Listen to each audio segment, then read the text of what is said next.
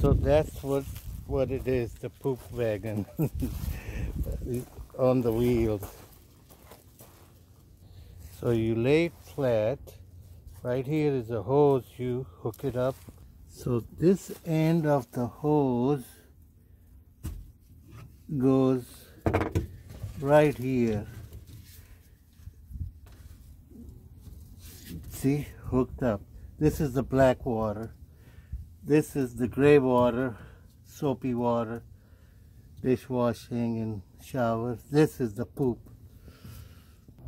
Then you open this and put this one right here, like that. Lose this so the air can get out.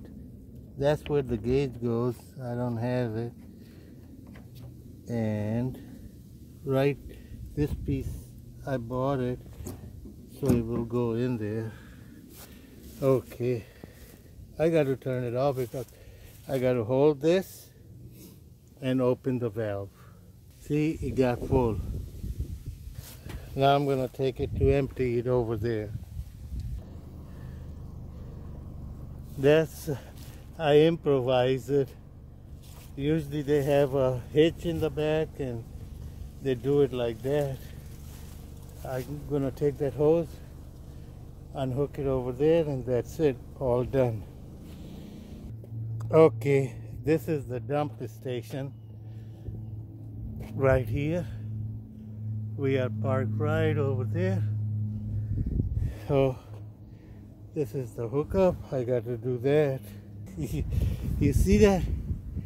Poopy water?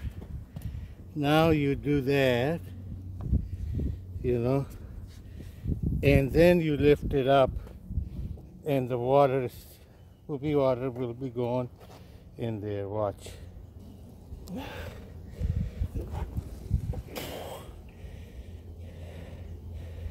You see that? See that? That's all it is. But this is 21 gallon tank This is the hookup I made. Usually you got to have a hitch over here to be on the safe side. Open that. Sucking air, going faster. You can hear. okay. All right then. We'll see you. Bye now.